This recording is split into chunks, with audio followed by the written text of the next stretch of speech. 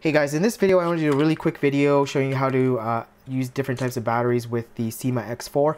Now the Syma X4, the battery that comes with it is I think is like 150 milliamps, which is pretty small, but um, I don't have a lot of those types of batteries. Instead I have batteries for my UDI and my Hubsans, which are slightly bigger. They're 240 milliamps, and of course they don't fit inside the battery bay. So instead of buying more batteries and newer batteries, I just decided to use the batteries that I already have. And these, since these are slightly bigger, they're not going to fit in there.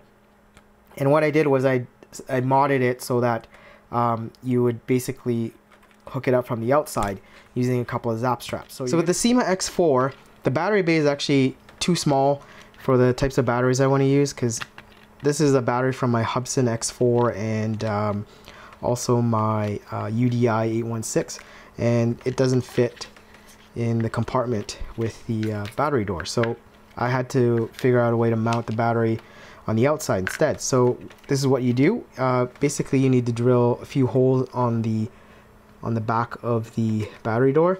I'm drilling six because I'm gonna put three zap straps. I think three might be a little bit overkill. You might be able to get away with two uh, to hold the battery in, but anyways, I use this drill, this, and I just basically just hand drilled it. It the plastic is quite soft, so you don't need any, you know, an actual drill to drill these holes. So it's quite safe. And then you need three of these zap straps. And what after you're done drilling it what you need to do is basically put them through the holes here like this.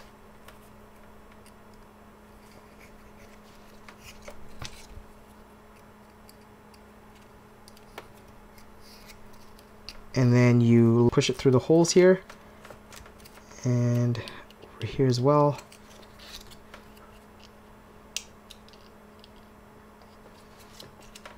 So they look something like this. They went through the holes and then you just lock it in lightly. And then this is where you can figure out how, depending on the size of your battery, this is a 240 milliamp battery. It the Syma X4 could probably handle up to three, 300 or 350 even. Uh, but these are the types of batteries I have. I have about a dozen of these. These are for my other uh, micro quads, uh, mini quads, and um, um, you just fit it in here like that, and just kind of pull it snug, but not too tight because you want to be able to take it out as well because you want to be able to swap them out. Uh, snug enough where it wouldn't move around when you're flying, but not too tight where you can't put it back in. So this is snug enough, and then once you have the right kind of uh, tightness for the zap straps, you can cut off the excess here. And this is what you're left with. So it's mounted on here fairly snug and it shouldn't fall off. And then what you want to do is just put the battery door back on. And then you can, um, this is where it's a good idea to probably screw the battery door back on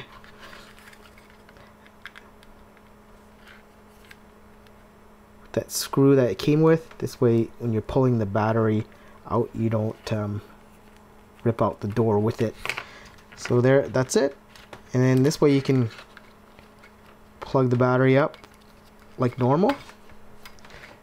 And still be able to use like bigger batteries.